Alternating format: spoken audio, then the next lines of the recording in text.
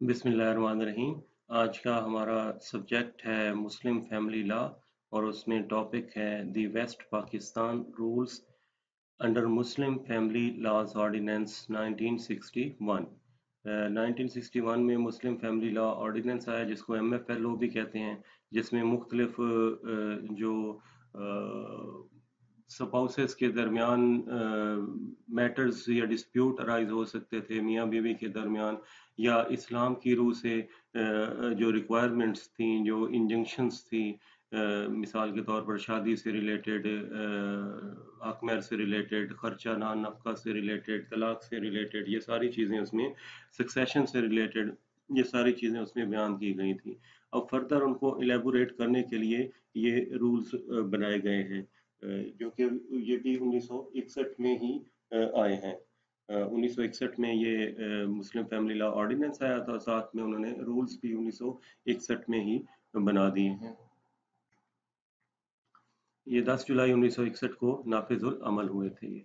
In exercise of powers conferred by section 11 of the Muslim family laws ordinance 1961 The Governor of West Pakistan is pleased to make the following rules. M F L O के section 11 में दे, दिया गया था ये कि ये जो rules हैं वो भी बना सकते हैं इसके साथ ऑर्डिनेंस के साथ साथ तो गवर्नर जो था वेस्ट पाकिस्तान का उन्होंने ये रूल्स जो है वो नाफिज अमल करवाए थे चूँकि उस वक्त 1961 में पाकिस्तान जो था वो दो स्टेट्स थी, दो सूबे थे उनके, एक वेस्ट वेस्ट पाकिस्तान और एक ईस्ट पाकिस्तान ईस्ट पाकिस्तान अब बांग्लादेश है और वेस्ट पाकिस्तान सिर्फ़ पाकिस्तान के नाम से है। तो ये 1961 की चूँकि बात है 1971 में दिसंबर 1971 में बांग्लादेश जो है वो पाकिस्तान से अलग हुआ था। Preliminary these rules may be called the West Pakistan rules under Family laws ordinance 1961. Uh, कोई भी लेजिस्लेशन उठा के देख लें इनेक्टमेंट जो भी है रूल्स हैं एक्ट है ऑर्डिनेंस है उसमें ये पहला सेक्शन जो होता है या पहला रूल जो होता है वो आम तौर पर उस इनेक्टमेंट की, के टाइटल और उनकी, उसकी एप्लीकेबिलिटी इन्फोर्समेंट के हवाले से होता है कि इसका टाइटल क्या होगा, इस एक्ट का ऑर्डिनेंस का या इन रूल्स का टाइटल क्या होगा और ये एप्लीकेबल किस इलाके पे होगा। कुछ चूँकि लाज जो होते हैं वो फेडरल होते हैं और कुछ प्रोवेंशल होते हैं तो उस लिहाज से वो सेक्शन वन जो या रूल वन है, वो उसको बताता है। अब वैसे अठारहवीं तरमीम में ना, काफ़ी सारे इख्तियार जो हैं, वो सूबों को मुंतकिल हो गए थे। अब सूबे जो हैं, वो अपने तौर पर भी फेडरल स्टैचूट्स में भी वो तब्दीली कर सकते हैं।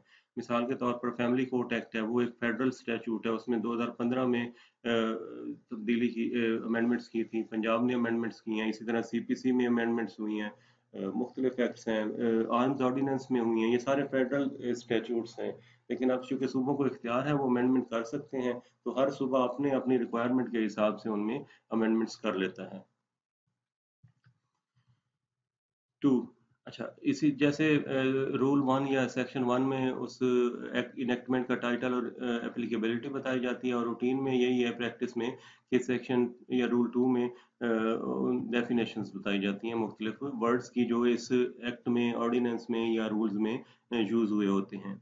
Um, rule 2 in these rules unless there is anything repugnant in the subject or context uh, anything repugnant होता है कि अगर इसके बरअक्स कोई और चीज़ किसी और रूल में मौजूद नहीं है तो ये लिखा जाता है। फिर ये रूल्स की जो डेफिनेशन है फिर ये अप्लाई करेगी। Form form means form appended to these rules के आखिर में जो ये फॉर्म दिए गए हैं वो इनसे मतलब uh, मतलब है कि ये फार्म है। Ordinance means the Muslim family laws ordinance 1961 यहाँ भी ऑर्डिनेंस का लफ्ज आएगा तो इसका मतलब लिया जाएगा, ये एम एफ़ एल ओ उन्नीस सौ इकसठ की बात हो रही है।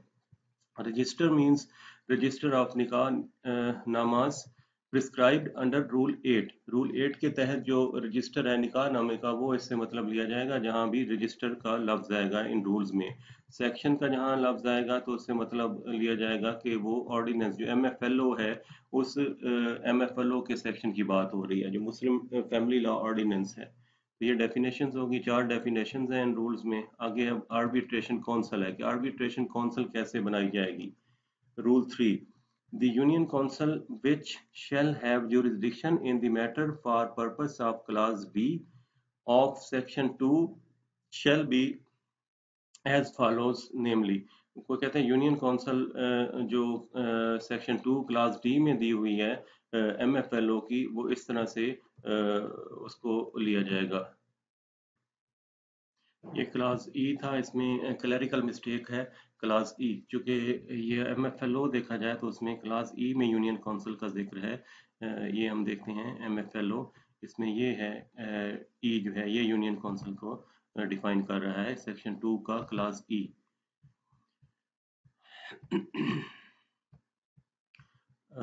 आगे है इसका सब रूल ए है।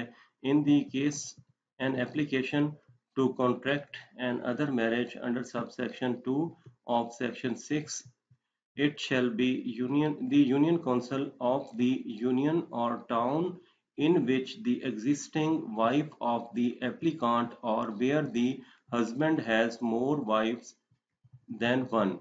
Uh, the wife with whom the applicant was married last is residing at the time of his making the application अब इसमें यूनियन काउंसिल और उस टाउन को बताया गया है कि किसमें एप्लीकेशन जो है वो फ़ाइल की जाएगी सेकंड मैरिज की परमिशन के लिए। जैसे सिक्स टू में है, अब सिक्स को हम देखें तो उसकी क्लास टू जो है उसमें बताया गया है कि सेकंड मैरिज की एप्लीकेशन जो है वो कैसे होगी ये पोलिगमी में टू में। An application for permission under subsection 1 shall be submitted to the chairman in the prescribed manner कि दूसरी शादी अगर उसने करनी है तो वो prescribed मैनर में चेयरमैन को एप्लीकेशन देगा अब यहाँ क्या है कि एक क्लास जो कह रही है इसकी कि in the case of an application to contract another marriage under sub section two of section six के sub section to section six की अगर एप्लीकेशन देनी है हस्बैंड ने दूसरी शादी की परमिशन लेने के लिए तो कहाँ पे वो देगा? कि उस यूनियन काउंसिल या टाउन में देगा जिसमें उसकी मौजूदा जो existing wife of the applicant यहाँ पे उसकी वो मौजूदा जो वाइफ रहती है, जिसको उसने तलाक नहीं दी अभी तक। और, या where the husband has more wives than one अगर हस्बैंड की दो हैं पहले ही दो शादियाँ हैं, वो तीसरी शादी के लिए एप्लीकेशन गुजारना चाहता है तो इस सूरत में क्या होगा कि the wife with whom the applicant was married last lastly यानी कि दूसरी बीवी की यूनियन काउंसिल में फिर वो देगा क्योंकि पहले की तो जो उसने शादी की हुई है, वो परमिशन के साथ ही की होगी ना। अदरवाइज़ तो वो पहले भी उसको चैलेंज कर देती या इस्तगासे में आ जाती कंप्लेंट फ़ाइल कर देती। तो अगर एक बीवी है तो उसी बीवी की यूनियन काउंसिल में एप्लीकेशन देगा। अगर दो बीवी हैं तो आखिरी जो जिससे शादी की हुई है, यानी कि दूसरी बीवी की देगा। पहले बीवी का फिर कोई कंसर्न नहीं है, अगर दो बीवियाँ हैं तो। फिर दूसरी बीवी वाली यूनियन काउंसिल में देगा। आगे चलते हैं इसके बाद। The with whom, the applicant last, ये कि आखिरी टाइम पे, आखिरी टाइम पे उसने दूसरी बीवी से ही शादी की हुई है ना? तो उसकी उस वाले यूनियन काउंसिल में देगा is residing at the time of his making that application जिस यूनियन काउंसिल में आखिरी बीवी उसकी रह रही है। मैं दोबारा इसको क्लियर करता हूँ कि अगर एक बंदे ने एक शादी की हुई है तो वो जिस यूनियन काउंसिल में उसकी बीवी रहती है तो उसमें वो एप्लीकेशन देगा। अगर उस बंदे ने दो शादियाँ की हुई है तो दूसरी शादी जैसे की हुई है, उस बीवी की यूनियन काउंसिल में वो एप्लीकेशन देगा। लास्ट वाली जो शादी की होगी, उसकी यूनियन काउंसिल में एप्लीकेशन देगा परमिशन के लिए। Provided that if at the time of making the application, such wife is not residing in any part of west pakistan, अगर वो बीवी पाकिस्तान में नहीं रहती, जो आखिरी वाली है, दूसरी वाली the union council that shall have jurisdiction shall be तो उस सूरत में कौन सी यूनियन काउंसिल में वो एप्लीकेशन देगा? ये अब नीचे बता रहे हैं। वन इसका है in case such wife was at any time residing with the applicant in any part of West Pakistan the union council of the union और town where such wife so last resided with the applicant फिर उस union council में application देगा, जिसके साथ आखिरी time पर वो बीवी रहती रही है। मिसाल के तौर पर वो सादकाबाद में रहती रही है सादकाबाद से फिर दुबई चली गई है। तो हस्बैंड अभी भी सादकाबाद में है या बहावलपुर या रहीम यार खान में है तो वो सादकाबाद वाली यूनियन काउंसिल में ही देगा चूँकि आखिर में लास्टली रिजाइड वो सादकाबाद में ही कर रही थी बीबी दुबई जाने से पहले।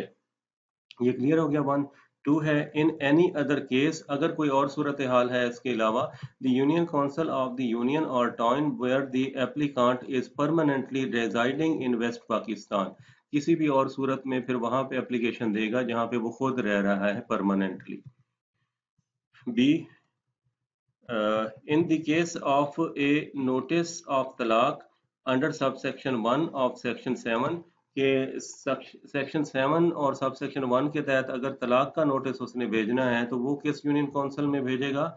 ये अब देख लेते हैं सेक्शन सेवन का। ये सेक्शन सेवन के ये सेक्शन वन है सब सेक्शन सेवन का any man who wishes to divorce his wife shall as soon as may be after the pronouncement of talaq in any form whatsoever any form यानी कि oral भी हो सकती है और return भी हो सकती है। Give the chairman notice in writing of his having done so and shall supply the copy thereof to the wife. कि uh, वो चेयरमैन को यूनियन काउंसिल के चेयरमैन को भी नोटिस देगा कि मैंने अपनी बीवी को तलाक दे दिया और uh, उस नोटिस की कॉपी भी वो uh, बीवी को भी भिजवाएगा। अब देखते हैं किस यूनियन काउंसिल क्या बीवी वाली यूनियन काउंसिल या अपनी यूनियन काउंसिल ये अब क्लियर होगा यहाँ पे। In the case of a notice of talaq under sub section one of section seven it shall be the union council of the union council of the union or town in which the wife is uh, the wife in relation to whom talaq has been pronounced was residing at the time of the pronouncement of talaq uh, to talaq कि उस उस union council में application वो नकल भिजवाएगा उसकी और या इतला देगा जिस यूनियन काउंसिल में वाइफ रह रही है अब मैं ये दोबारा क्लियर कर देता हूँ रिपीट कर देता हूँ अगर तो एक हस्बैंड ने दूसरी शादी करनी है तो पहली बात यह है कि वो जिस यूनियन काउंसिल में उसकी बीवी रह रही है, अगर उसके साथ रह रही है तो अपनी यूनियन काउंसिल में ही दे देगा। अगर वो अपने मेके गई हुई है तो मेके वाली यूनियन काउंसिल में वो एप्लीकेशन देगा कि मैं दूसरी शादी करना चाहता हूँ तो मुझे जो है वो परमिशन दी जाए। ये एक सिचुएशन दूसरी सिचुएशन अगर उस बंदे की एक से ज़्यादा बीवियाँ हैं, दो हैं, तीन हैं, चार तो नहीं हो सकती, दो या तीन हैं तो उसमें क्या होगा कि आखिरी बीवी जिस यूनियन काउंसिल में रह रही है, अगर आखिरी बीवी दूसरी या तीसरी उसके साथ रह रही है, फिर अपनी यूनियन काउंसिल में एप्लीकेशन देगा एक और शादी करने की। अगर वो मेके गई हुई है तो वो उस बीवी, जो आखिरी बीवी है, उसके मेके वाली यूनियन काउंसिल में देगा। ये दो पॉइंट हो गए। अब तीसरा है कि वो आखिरी बीवी जो है, वो पाकिस्तान से बाहर चली गई है। वो कहीं दुबई रह रही है, यूके रह रही है, कहीं अमेरिका रह रही है। अब क्या उस सूरत में होगा? कि उस सूरत में होगा कि आखिरी टाइम पे वो जहाँ पे रह रही थी, अगर वो मेके से दुबई गई है तो मेके वाली यूनियन काउंसिल में देगा। अगर उसके साथ वो रह रही थी तो वहाँ से गई है तो वो अपने वाली यूनियन काउंसिल में वो एप्लीकेशन देगा। ये तीन सिचुएशन होगी ये होगी तीन सिचुएशन वो शादी वाली। अगर इसके अलावा चौथी सिचुएशन वो कहते हैं, शादी दूसरी शादी वाली, कि अगर वो, इन इन किसी सूरतों में भी कोई चीज़ नहीं है, जो कि मुश्किल है। प्रैक्टिकली उन्होंने सारी कवर कर दी है। पहली बीवी, दूसरी बीवी और बैर जो गई हुई है, सबकी कवर हो गई है। लेकिन एक उन्होंने ओपन क्लास भी छोड़ दिया है। एक और ऑप्शन भी रख दिया कि अगर इन सूरतों में कोई और केस है तो जहाँ पे वो खुद रह रहा है, वहाँ पे एप्लीकेशन दे देगा। ये चार सिचुएशन हो गई कि दूसरी शादी की परमिशन लेने के लिए किन किन यूनि काउंसिल को कंसल्ट करना पड़ेगा। अब है तलाक देने के लिए। तलाक देने के लिए क्लियर है। एक ही उन्होंने बताया, उसमें बी जो है सब रूल थ्री का, वो कहते हैं कि जिस यूनियन काउंसिल में उसकी बीवी अब रह रही है, अगर उसके साथ रह रही है, उसने तलाक उसको दे दिया तो अपनी यूनियन काउंसिल में नोटिस देगा, बीवी को भी कॉपी दे देगा। अगर वो रूट के मेके गई हुई है, फिर उसने तलाक दिया तो वो मेके जो है, उसमें उस यूनियन काउंसिल को नोटिस देगा और नोटिस भी तलाक का भिजवा देगा। ये क्लियर हो गया। दूसरी परमिशन के लिए भी और तलाक के लिए भी। Provided that if at the time of pronouncement of talaq such wife was not residing in any part of Pakistan अब वो अगली सिचुएशन भी कवर कर रहे हैं कि अगर वो बीवी जो है वो बाहर गई हुई है the union council that shall have jurisdiction shall be इन सूरतों में कौन सी यूनियन काउंसिल को जुरिस्डिक्शन होगी ये ए में वन में आते हैं In case such wife was at any time residing with the person pronouncing the talaq in any part of Pakistan कि आखिरी टाइम पे जहाँ जौन जिस यूनियन काउंसिल में वो रह रहे थे दोनों, उस यूनियन काउंसिल में यूनियन काउंसिल और द यूनियन और town where such wife so last resided with such person and ये एक, कि आखिरी टाइम पे जो उसके, अगर उसके साथ रह रही थी तो अपनी यूनियन काउंसिल में देगा, अगर वो मेके रह रही थी तो मेके वाली यूनियन काउंसिल को नोटिस भी भेजेगा और वहाँ पे वो जो है वो वाइफ को भी कॉपी भेज देगा उसकी। अब सेकंड कैटेगरी है इन any other case the union council of the union or town where the per, uh, person pronouncing pronouncing pronouncing the talaq is permanently residing in west pakistan. या वो जहाँ पे खुद रह रहा है, अगर वो कोई भी और सूरत हाल है तो वहाँ पे अपनी यूनियन काउंसिल में वो दे देगा। लेकिन ऐसे नहीं है, ये कवर उन्होंने सारी चीज़ें कर ली हैं। अब ये भी सेम उसी तरह ही है। जैसे वो परमिशन वाली हैं यूनियन काउंसिल्स की तरतीब, तलाक वाली भी यूनियन काउंसिल की तरतीब वही है। याद रखने के लिए। अच्छा नेक्स्ट इसमें है in the case of any application for maintenance under section 9 it shall be the union council of the union or town in which the wife is residing at the time of her making the application and where application under that section is made by more than one wife, it shall be the union council of the union or town in which the wife who makes the application first is residing at the time of her making the application. अब ये maintenance खर्चा लेने के लिए union council का तयन कर रहे हैं। खर्चा यूनियन लेने के लिए क्लियर है कि जिस यूनियन काउंसिल में वो वाइफ रह रही है, अपनी यूनियन काउंसिल में दरखास्त दे देगी कि मुझे मेरे हस्बैंड से खर्चा दिलवाया जाए।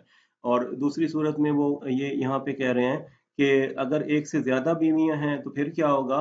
कि वो उस यूनियन काउंसिल में बीवी एप्लीकेशन देगी, जिस यूनियन काउंसिल में जो है वो union council town in which the wife who makes the first application is residing. जहाँ पे पहली उसकी बीवी ने एप्लीकेशन दी हुई है, उसी उसी उसी यूनियन काउंसिल को दूसरी बीवी भी एप्लीकेशन देगी, ताकि फैसला एक हो, फैसले में फ़र्क ना आए।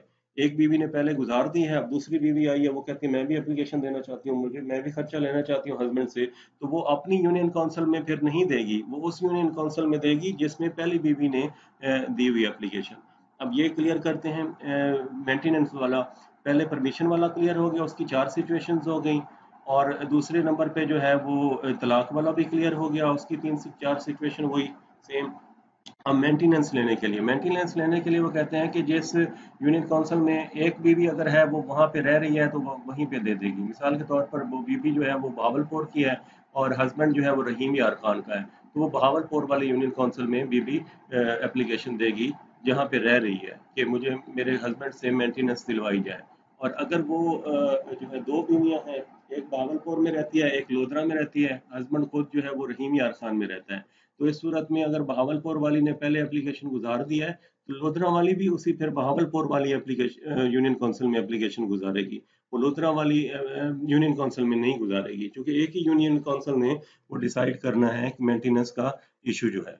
ये क्लियर हो गया मेंटेनेंस का। अब हमने तीन चीज़ें पढ़ ली हैं। एक परमिशन कहाँ पे सीख होगी हस्बैंड को, दूसरी शादी की किन किन सूरतों में कौन सी यूनियन काउंसिल से दूसरा, तलाक कहाँ पे जो है वो इतला देनी ज़रूरी है? कौन कौन सी यूनियन काउंसिल में?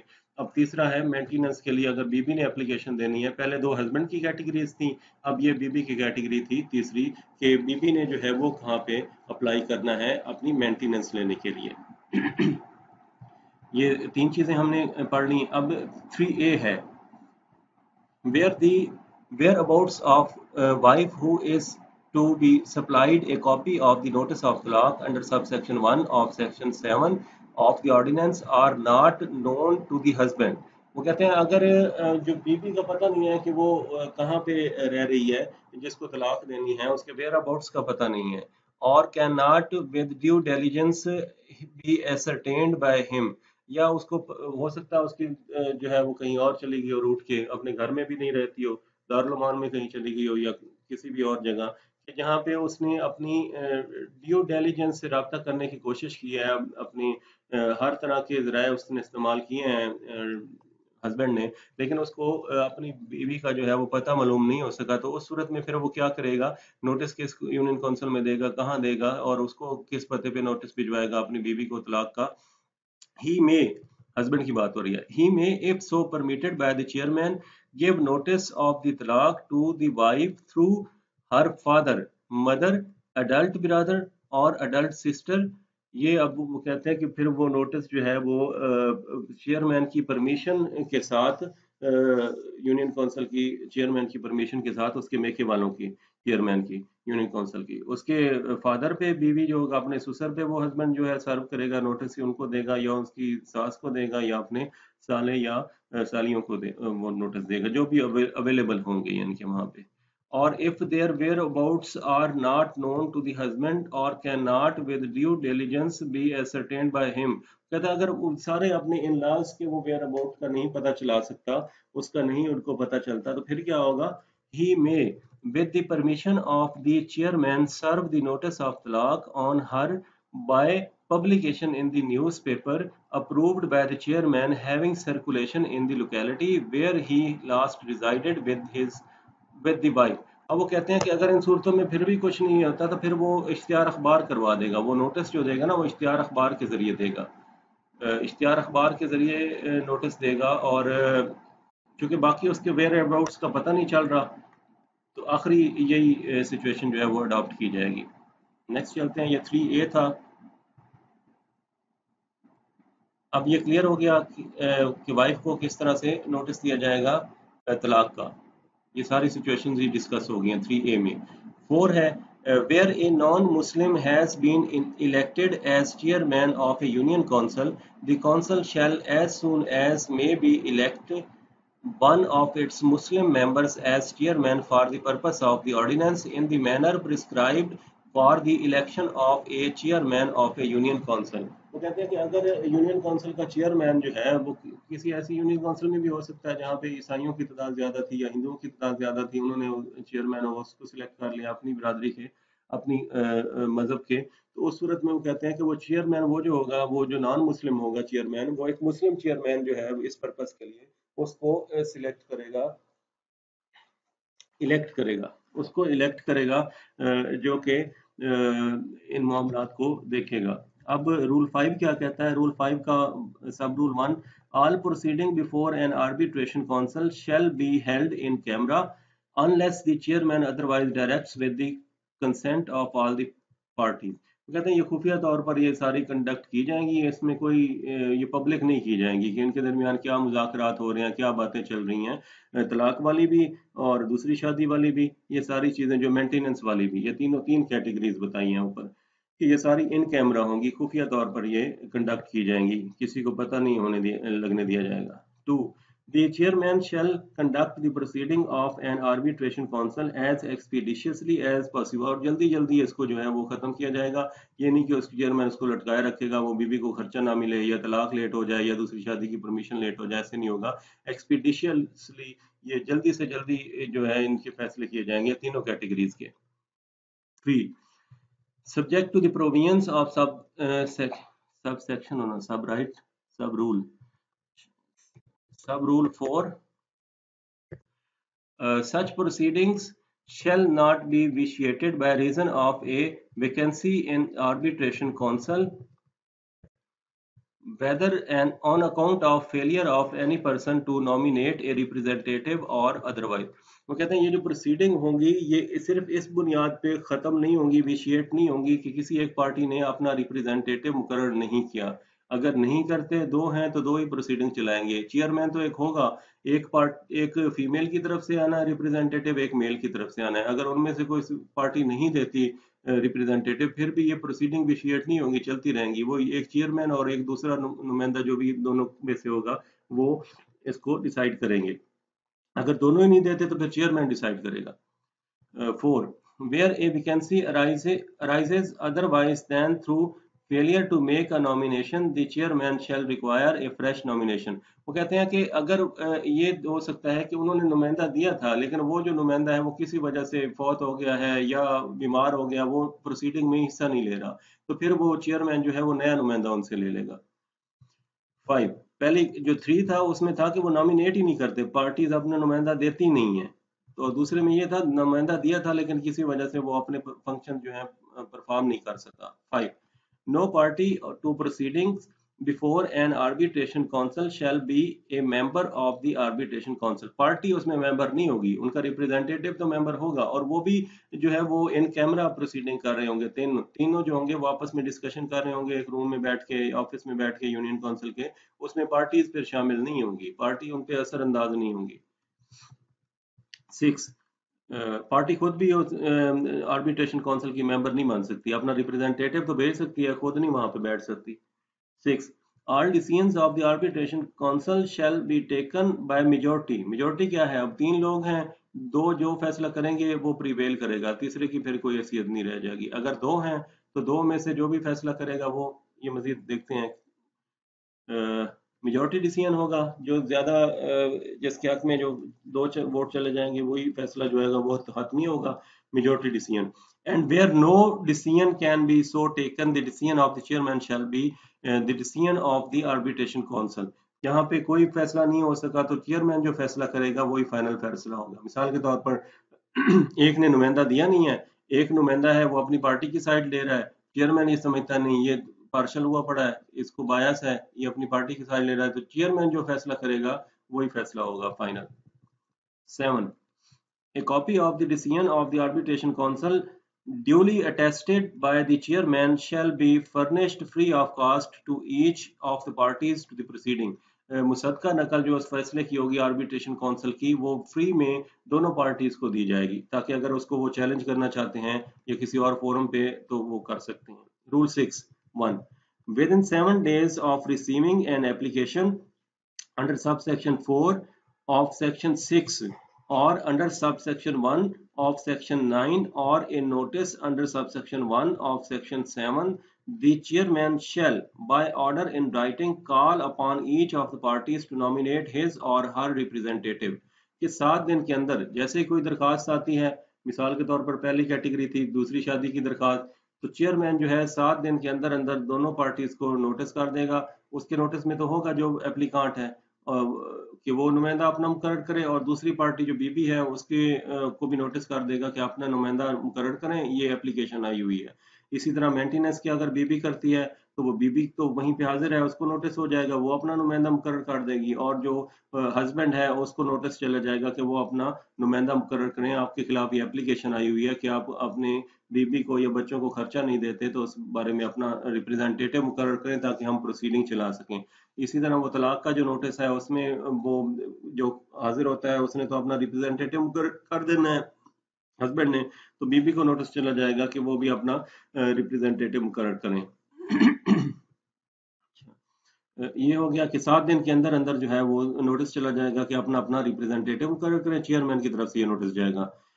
By order in writing call upon each the parties to nominate his और her representative and each such party shall within seven days of receiving the order nominate in writing a representative and deliver the nomination to the chairman और send it to him by registered post वो जो parties हैं, वो सात दिन के अंदर अंदर, यानी कि पहले सात दिन तो हो गए वो नोटिस जारी करने के, अब फिर अगले अगर नोटिस जारी हो जाता है, उनको मिल जाता है तो सात दिन के अंदर अंदर उन्होंने अपना रिप्रेजेंटेटिव जो है वो या तो वहाँ पे असालतन भेजना होता है यूनियन काउंसिल में, या थ्रू पोस्ट जो है अपना वो मुकर करके उन्होंने इतला देनी होती है चेयरमैन को, कि ये हमारा रिप्रेजेंटेटिव है इस मैटर में।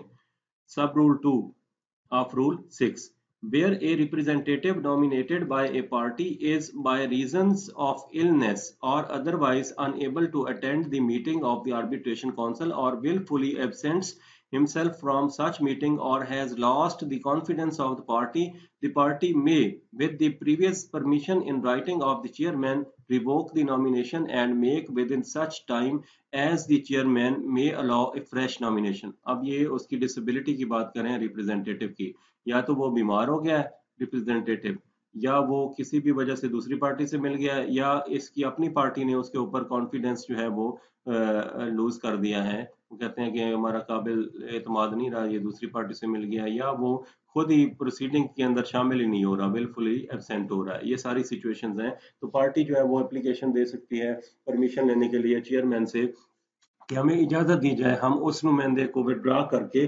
रिवोक करके हम नया नुमाइंदा दे, दे, दे, दे देते हैं ताकि हमारी प्रोसीडिंग जल्दी से जल्दी कंक्लूड हो सके। Provided that where a party on whom the order is to be served is residing outside Pakistan अगर वो इनमें से पार्टी जो है वो आउटसाइड पाकिस्तान रहती है किसी भी सिचुएशन में जैसे हमने ऊपर पढ़ा है तीनों कैटेगरीज में मेंटेनेंस के लिए हस्बैंड बैर गया हुआ है। The order may be served on such party through the consular office of Pakistan in or for the country where such party is residing. कि वो पार्टी जहाँ पे गई हुई है अगर हस्बैंड बाहर गया हुआ है तो पाकिस्तान कौंसल जो है कौंसलर ऑफिसर ऑफ़ पाकिस्तान उस कंट्री का उस पर सर्च किया सर्व किया जाएगा कि ये आप इसकी सर्विस करवा के हमें भेजें। अगर बीबी गई हुई है तो इसी तरह फिर भी उसी पे सर्व किया जाएगा सर्विस के लिए। नेक्स्ट है इसमें where a fresh nomination is made under sub rule two it shall not be necessary to commence the proceeding before the arbitration de novo कि जब फ्रेश नॉमिनेशन की जाएगी तो ये ज़रूरी नहीं है कि फिर नए सिरे से उसकी प्रोसीडिंग आर्बिट्रेशन काउंसिल की स्टार्ट कर दी जाए। Unless the chairman for the reasons to be recorded in writing direct otherwise जब तक के चेयरमैन लिख के उसमें डिनोवो प्रोसीडिंग का ऑर्डर ना करे तो। आगे है रूल सिक्स ए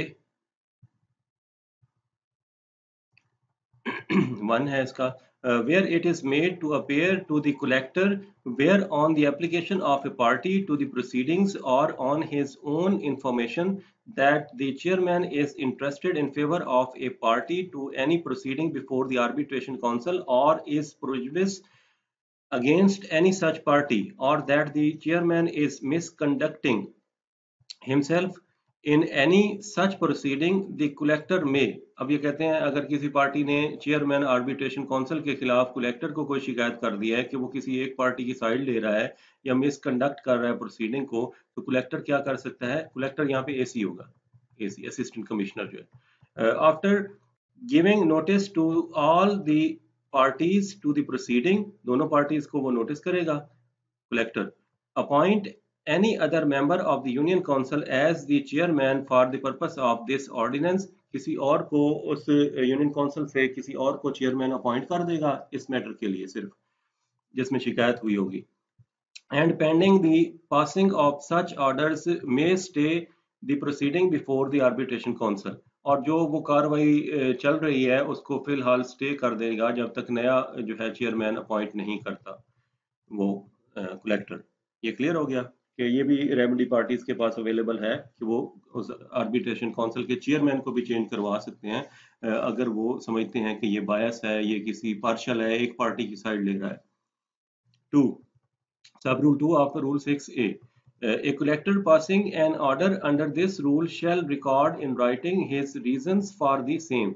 लेकिन ये नहीं है कि वो किसी को भी फॉरन चेंज कर देगा, वो कलेक्टर रीजन लिखेगा कि मैं किस लिए क्या क्या मेरे पास मटेरियल आया है उस आर्बिट्रेशन काउंसिल के चेयरमैन के खिलाफ जिसको मैं चेंज कर रहा हूँ, वो रीजन लिखेगा, ताकि अगर पार्टी कोई उसको भी चैलेंज करना चाहती है कलेक्टर के आर्डर को तो चैलेंज कर सकती है। Rule seven one any person competent to solemnize a marriage under Muslim law may apply to the Union Council for the grant of a license to act as निकाह registrar under section 5 ये निकाह registrar के licence के बारे में है कि कोई भी बंदा जो है वो कम्पिटेंट है मैरिज करने का तो वो निकाह रजिस्ट्रार के तौर पर लाइसेंस हासिल कर सकता है उस कौंसल यूनियन काउंसिल में।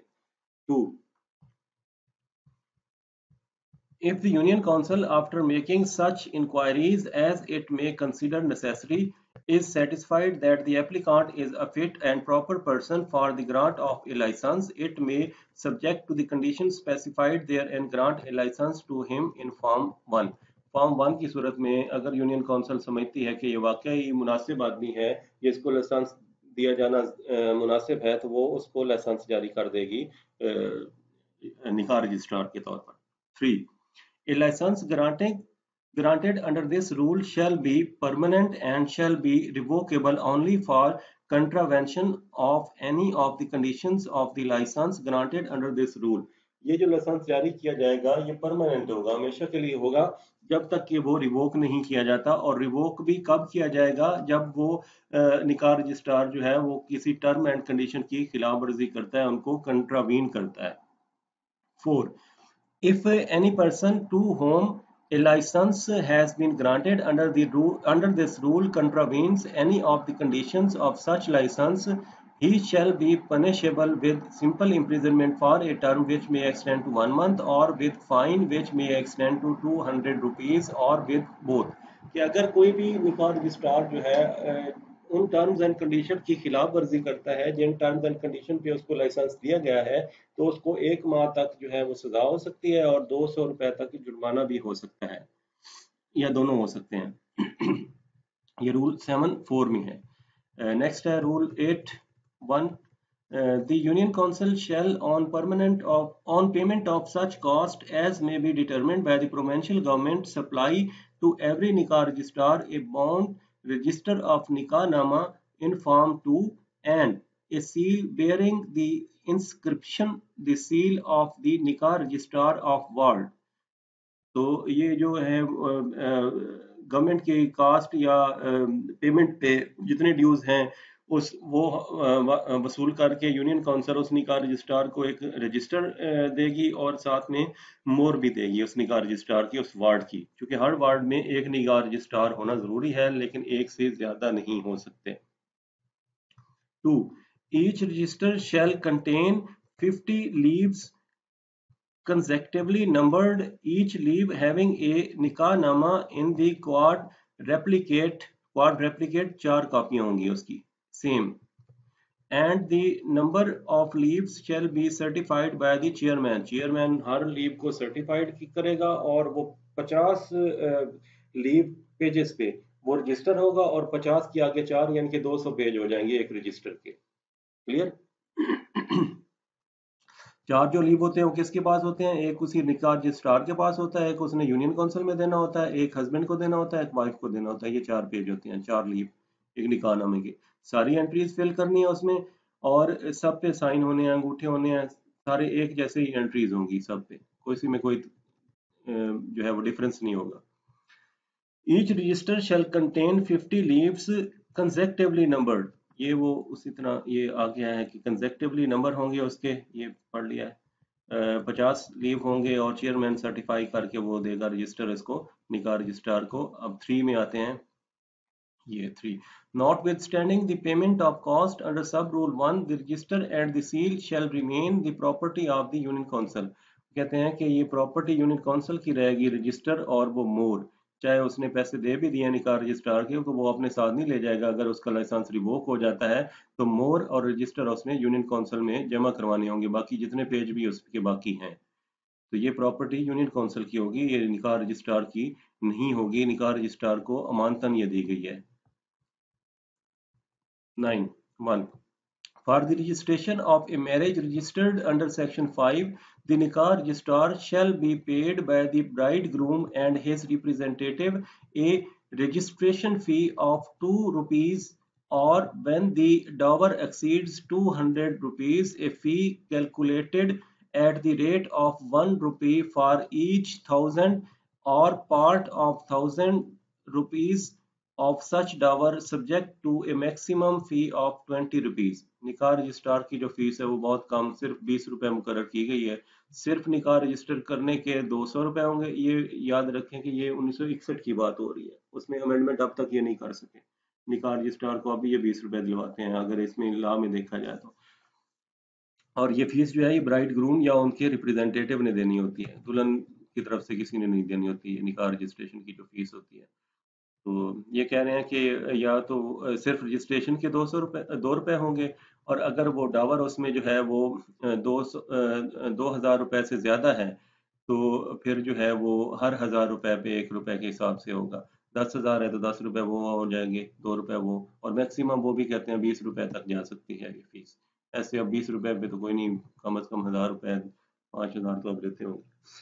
Two of the fees received under sub rule 1 the nikah registrar shall retain for himself 80% and shall pay the remaining 20% to the union union council ले जी, जो वो भी उसमें से 20 परसेंट उसको और भी यूनियन काउंसिल में देना पड़ गया है।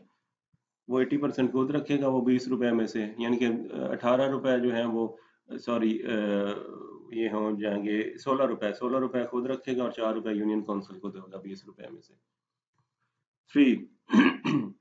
Where consists of property other than money or, prop, uh, or, pro, or partly of such property and partly of money, the valuation of the property shall for the purposes of fees under sub rule 1 be the valuation as settled between the parties to the marriage. कहते हैं अगर डावर उसमें जो है वो पैसों के अलावा कोई और प्रॉपर्टी रखी गई है या पैसे और प्रॉपर्टी डावर में रखा गया है तो वो दोनों पार्टीज़ जो उसकी वैल्यूएशन करेंगी वही उसकी वैल्यूएशन समझी जाएगी। लेकिन आमतौर पर रजिस्ट्रेशन निकाह में ये लिखी नहीं जाती उसकी प्रॉपर्टी की वैल्यू लिखनी चाहिए ताकि कोर्ट्स को भी बाद में आगे आसानी हो वैल्यूएशन के लिए। रूल टेन वन द निकाह registrar shall in the case of a marriage solemnize by him fill in form twelve in क्वारेटिक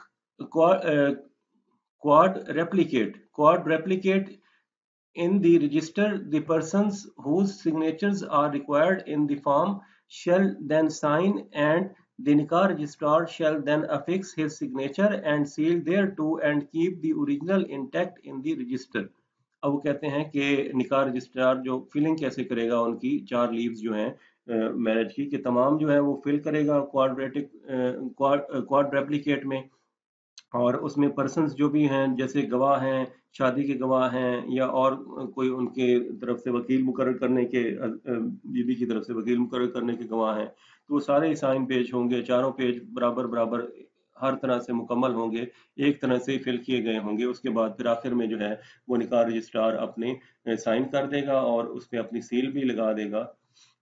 और ओरिजिनल जो है वो अपने पास रख लेगा, बाकी तीन जो है वो सप्लाई कर देगा एक हस्बैंड को, एक वाइफ को और एक यूनियन काउंसिल में। Duplicate and triplicate of the निकाह नामा filled is as aforesaid shall be supplied to the bride and the bridegroom respectively एक वो दुल्हन को देगा कॉपी और एक जो है वो दूल्हे को देगा। On payment of 50 paisa each and the quad replicate shall be forwarded to the union council अब इसमें ये क्लियर हो गया। पहली ऊपर वाली जो कॉपी होगी, वो खुद रिटेन करेगा। दूसरी कॉपी जो होगी, उसको डुप्लीकेट कह रहे हैं, ये वो दुल्हन को देगा। तीसरी कॉपी जो उसकी होगी, उसको ट्रिप्लीकेट कह रहे हैं, वो दूल्हे को देगा। और चौथी कॉपी जो होगी, उसको क्वाड रेप्लीकेट कह रहे हैं, वो यूनियन काउंसिल में देगा। यानी कि अगर वो पेज चार हैं उनके one two three four number लगे हुए हैं तो पहली वन जो है अपने पास रखेगा रजिस्टर में ही वो रहेगी। दूसरी जो है जिसपे टू लगा लगा हुआ है वो देगा दुल्हन को तीसरी दूल्हे को और चौथी यूनियन काउंसिल में जाके देगा। ये तरतीब भी उन्होंने बता दिया कॉपीज की। Three if any person required by this rule to sign the register refuses to uh, so to sign he shall be punishable with simple imprisonment for a term which may extend to one month or with fine which may extend to 200 rupees or with both. अगर कोई आदमी जैसे गवाह है, उसका नाम लिखा गया पहले तो उसने नाम लिखवा दिया, फिर उसने साइन करने से इनकार कर दिए तो उसको सजा भी हो सकती है। उसको एक महीने तक सजा हो सकती है या उसको फाइन हो सकता है, दो सौ रुपए तक या दोनों हो सकते हैं। जो रजिस्टर उस पर निकाह नामे वाला रजिस्टर पर इनकार करता है साइन करने से। Eleven one. Where a marriage is solemnized in Pakistan by a person other than the nikah registrar. कि निकाह रजिस्ट्रार के अलावा अगर किसी ने कोई मैरिज की है, जैसे ये आमतौर पर मस्जिद के इमाम होते हैं या अपने इलाके में से किसी वो, जैसे पीर होते हैं या बुज़ुर्ग होते हैं, उनसे निकाह पढ़ा लेते हैं। वो अब निकाह रजिस्ट्रार तो नहीं है ना? उस सूरत में क्या होगा? Such person shall fill form two to be had lose on on lose on payment of such price as may be determined by the provincial government the persons whose ये whose होना है he he uh, to be had whose on payment ये इसमें लफ्ज clear करना पड़ेगा देख लेते हैं इसको whose signatures required in the form shall then sing sign होना है shall then sign typographic errors हैं uh, and the person solemnizing the marriage then fix affix his signature uh, to the form and ensure delivery as expeditiously as possible of the same together with the registration fee to the nikah registrar of the ward where the marriage is solemnized वो कहते हैं, अगर किसी और तीसरे बंदे ने वो निकाह पढ़ाया है तो वो भी फॉर्म टू जो है, उसको फिल करेगा मुकम्मल तौर पर और उसको जो है साइन करेगा और फिर ये इतला देगा अपने निकाह रजिस्ट्रार को जो उस वार्ड का है कि वो उस अपना इसमें दर्ज करवा ले। फिर वो सारी चीज़ें जो है अपने पास दर्ज करवा लेगा और यूनियन काउंसिल को भी इतला देगा। क्योंकि अब इस एम एफ़ लोग जो है, इसके तहत रजिस्ट्रेशन ऑफ़ मैरिजेज ये कंपलसरी है। अगर कोई निकाह कर लेता है और उसको रजिस्ट्रेशन नहीं करवाता तो उसकी सजा है two If any person required by this rule to sign the form refuses so to sign, he shall be punishable with imprisonment. ये उसी तरह है कि उसको सजा होगी एक माह की या दो सौ रुपये जुर्माना होगा या दोनों अगर वो ये रजिस्टर जो है ये निकाहनामा जो है जो कोई थर्ड पर्सन करवाता है वो साइन करने से इनकार करता है तो। Twelve one. In the case of marriage solemnize outside Pakistan, कि पाकिस्तान से अगर बाहर किसी कंट्री में मैरिज हुई है तो फिर क्या होगा? By a person who is a citizen of Pakistan Pakistani शहरी है वो, मैरिज उसकी सऊदी अरब, दुबई, इंग्लैंड में हो रही है।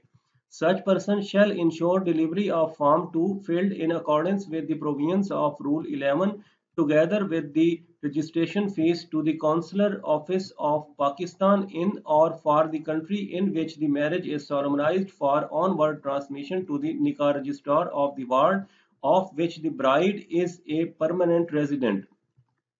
बैर जहाँ से शादी हुई है जहाँ पे शादी हुई है उस अगर वो बीबी जो है वो यहाँ की रहने वाली है और अब जो है वो बैर की कंट्री में रह रही है तो उस वार्ड में उसकी कॉपी निकाह की भेज जाए भेज दी जाएगी through consular officer of Pakistan वहाँ पे जो होगा कॉन्सुलेट होगा पाकिस्तान का, उसके ज़रिए यहाँ पे बीबी जिस वार्ड में रहती है, उस वार्ड में वो उस निकाह की कॉपी भेज दी जाएगी, ताकि वो रजिस्ट्रेशन उसकी हो सके। कल को कोई भी प्रॉब्लम हो सकता है तो वो निकाह उनका यहाँ भी वैलिड हो, यहाँ पे आके अगर वो चैलेंज करना चाहते हैं तो उनको जो जुरिस्डिक्शन भी हासिल हो जाए। And in case in case the bride is not a citizen of Pakistan to the nikah registrar of the ward of which the bridegroom is such resident, वो कहते हैं, अगर वो किसी, उसने अंग्रेज़ के साथ शादी कर लिया या वहाँ वो मुसलमान हो गया तो फिर वो जो दुल्हा होगा हस्बैंड होगा, वो उस निकाह की जो नकल है, उस निकाह नामे की, यहाँ अपनी यूनियन काउंसिल जो है, उस वार्ड में भेजेगा। क्लियर ये ये कह रहे हैं कि अगर यहाँ की बीबी है और बैर उसने शादी कर लिया है तो बैर जिसके साथ निकाह किया है, उसको वहाँ पे निकाह को तहरीरी तौर पर consular of officer of Pakistan के ज़रिए अपने वार्ड में भिजवाएगी यूनियन काउंसिल में रजिस्ट्रेशन के लिए।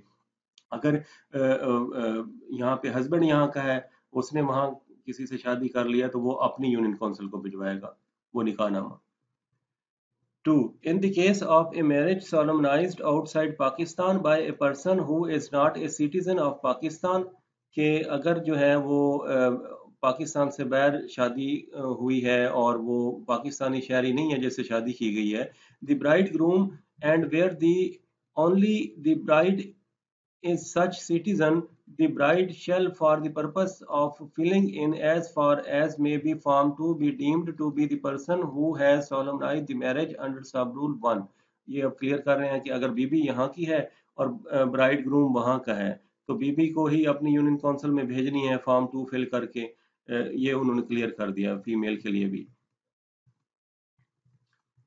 thirteen on receipt of Form 2 under Rule 11 or 12 The nikah registrar shall proceed in the manner provided in Rule 10 as if the marriage had been solemnized by him.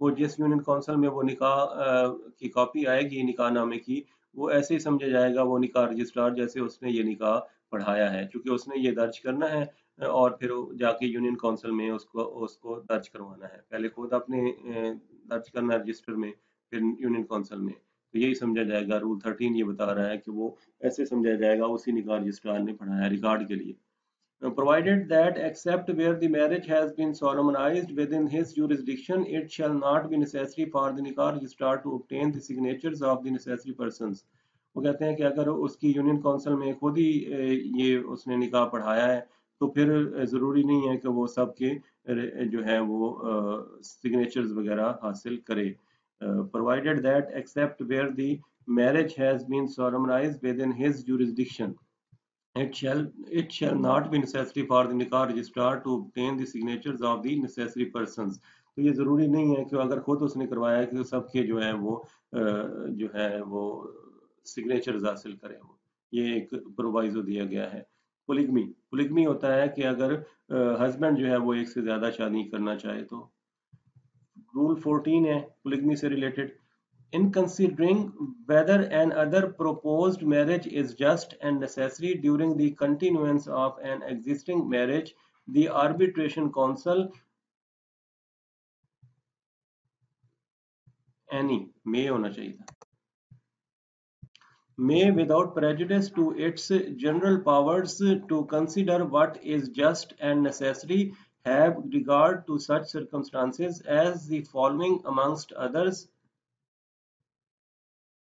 sterility physical infirmity physical unfitness for the conjugal relations willful avoidance of a decree for, de uh, for restitution of conjugal rights or insanity on the part of an existing wife ये grounds बताई गई हैं कि दूसरी शादी की इजाज़त के लिए इनमें से कोई एक ग्राउंड जो है वो लिखी जाएगी उसकी तरफ़ से हस्बैंड की तरफ़ से। अब क्या ग्राउंड्स हैं? ये कह रहे हैं कि स्टेरिलिटी स्टेरिलिटी एक ग्राउंड है और फ़िज़िकल इन्फर्मिटी और ये फ़िज़िकल अनफिटनेस ये हस्बैंड की सारी बातें हो रही हैं।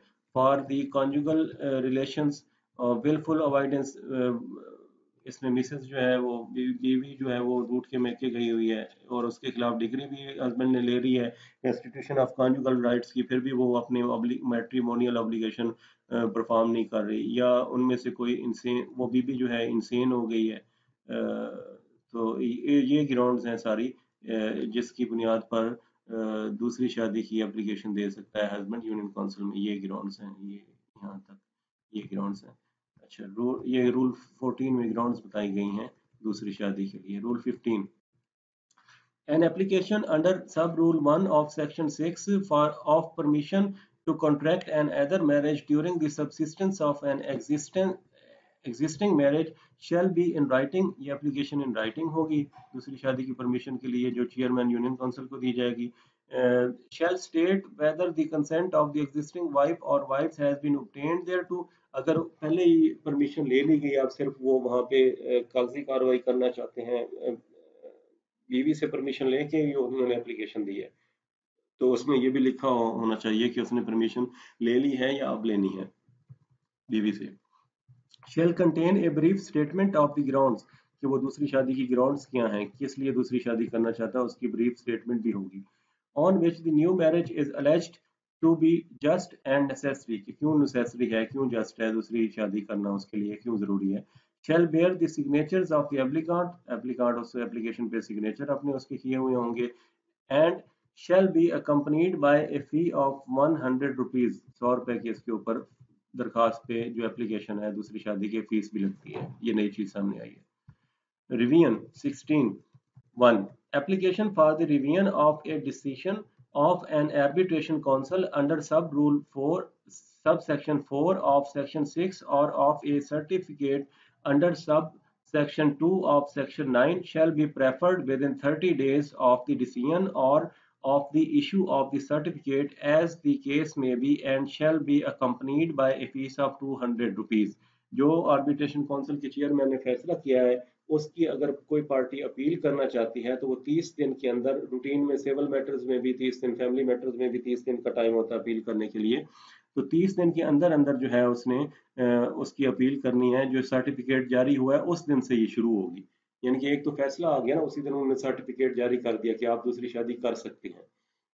तो वो बीबी जो होगी, जिसके खिलाफ ये फैसला आया है, वो अपील कर सकती है, या अगर हस्बैंड को परमिशन नहीं दी गई तो वो वो भी अपील कर सकता है तीस दिन के अंदर अंदर आर्बिट्रेशन काउंसिल के इस फैसले के खिलाफ, और दो सौ रुपए इस पे फ़ीस भी होगी।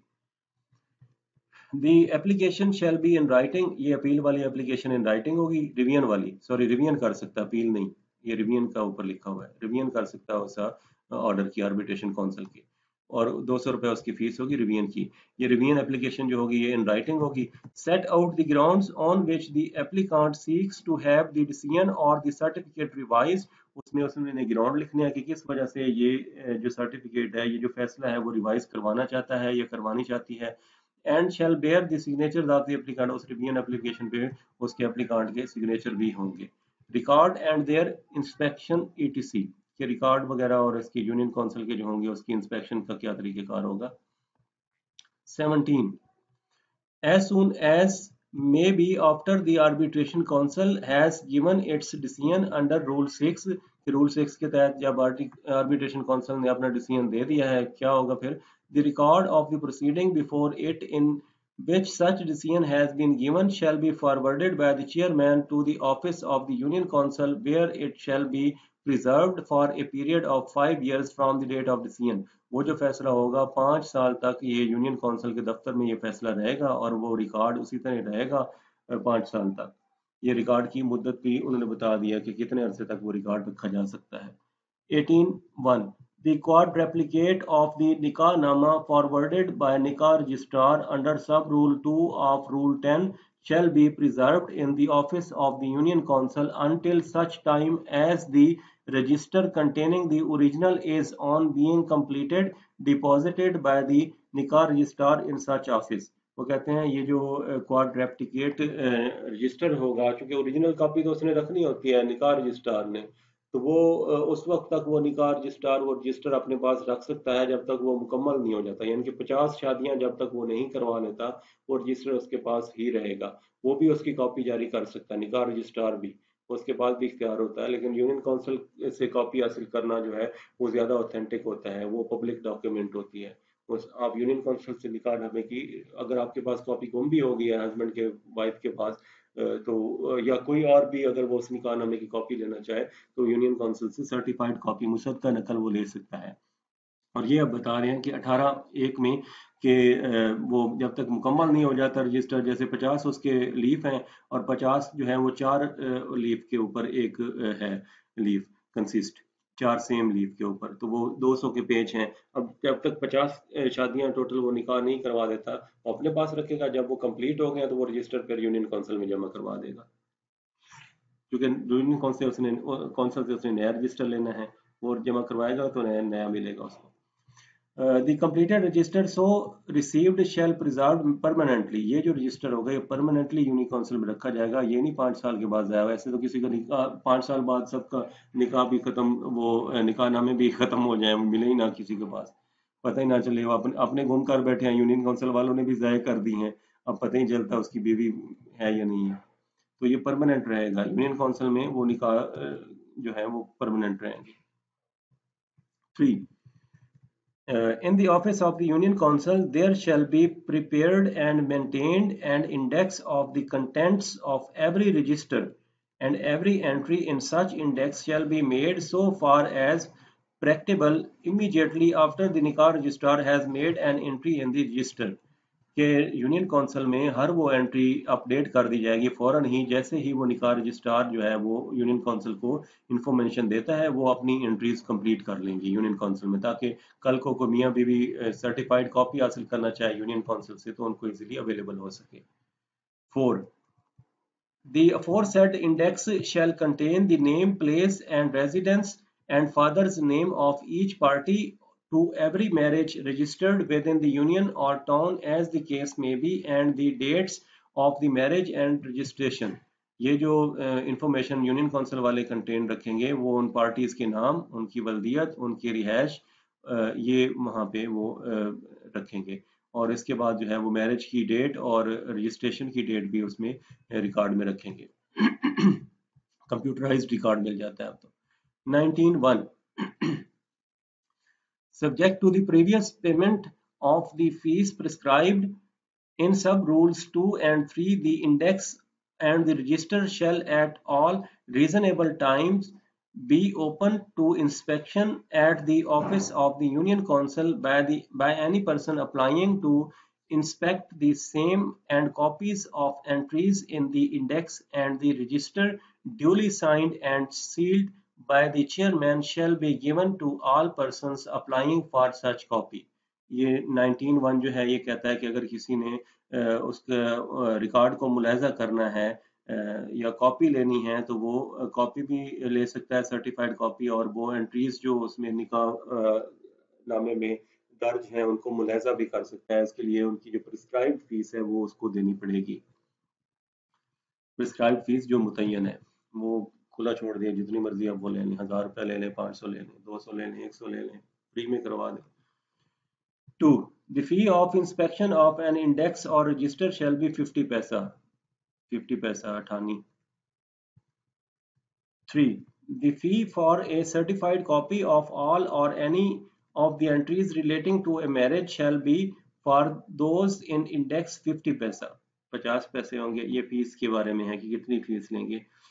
For those in a register two rupees fee payable under this rule shall be credited to the council union council में वो जमा करवा दी जाएगी यूनियन काउंसिल के अकाउंट में ये फ़ीस से मुतलक था कि कितनी फ़ीस जो है वो इंस्पेक्शन के लिए रिकॉर्ड को मुलाजा करने के लिए दी जाएगी या कॉपी हासिल करने के लिए उसकी uh, payment of fees 20 except fees payable to the nikah registrar which shall be paid in cash all fees payable under these rules shall be paid in non judicial stamps कि ये कोई stamp paper या टिकटों की सूरत में नहीं होगी फ़ीस ये कैश की सूरत में होगी complaints 21 no court shall take cognizance of any offence under the ordinance or these rules save on a complaint in writing by the union council stating the facts constituting the offence इस अगर जैसे वो गवाहों ने इनकार कर दिया sign करने के तो उनको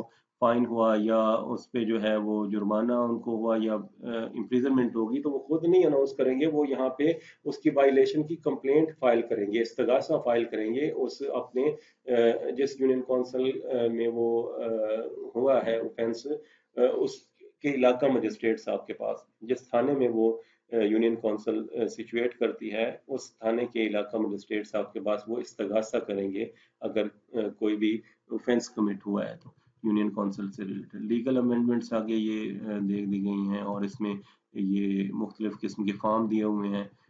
ये नीचे ये सारे अपेंडिक्स हैं फॉर्म वगैरह। तो ये हमारा कंप्लीट हो गया मुस्लिम फैमिली लॉज ये rules under Muslim family laws Muslim family laws के जो रूल्स हैं, जो उन्हें इलेबोरेट करते हैं ये यहाँ पे सारी चीज़ें क्लियर हो गई। इसमें हमने पढ़ा है थोड़ा सा ब्रीफ एज अ रिमाइंडर कि पहले परमिशन के लिए परमिशन सीख करने के लिए दूसरी शादी की, फिर हमने पढ़ा तलाक का नोटिस कहाँ जाएगा, फिर हमने पढ़ा कि मेंटेनेंस का दावा कैसे होगा निकार रजिस्ट्रार को रजिस्टर मिलेंगे निकार रजिस्टर के रजिस्ट्रार के कितने जो है पेजेस पचास पेजेस होंगे, चार चार एक तरह की कॉपीज होंगी उन लीव की। फ़ीस कितनी होगी उस पर कॉपीज ले सकते हैं आर्बिट्रेशन काउंसिल के फैसले कैसे होंगे, उनकी रिवीजन कहाँ पे फ़ाइल होगी, कितनी फ़ीस होगी रिवीजन की या उस एप्लीकेशन की जो दूसरी शादी के लिए दी जाएगी, ये सारा का सारा प्रोसीजर हमने इसमें रिवाइज किया है।